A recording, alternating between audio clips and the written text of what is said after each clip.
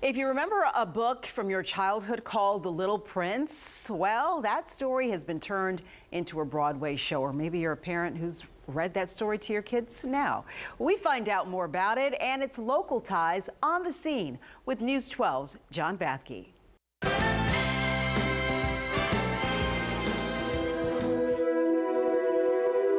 The dream world of The Little Prince coming to life on a Broadway stage based on the classic children's book of the same name. Have you just lit your lamp again? Adapted into this performance with aerialists, acrobats, and dancers. Do you have to get into the mindset of a child before you go out on that stage? Um, I have to. I'm I'm a little bit childish as well sometimes, so I think that's that helps. Just like the story itself of a child who travels to planets throughout the universe and his adventures with the people he meets, this production has crisscrossed the globe, beginning in Paris with director and choreographer Anne Tournié.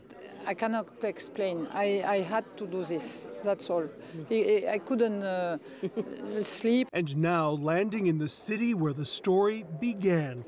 The Little Prince was written in New York back in 1942 by French author Antoine de Saint Exupéry, then living in New York, whose great nephew says the family is proud of how the story has impacted generations. The book brings them hope and happiness and consolation. So that's the most impressive. Cast members too hope that audiences discover a timeless message. And this show is very much about the spirit of being kind and also giving it a different perspective of like put yourself in that person's shoes and think about how they might feel.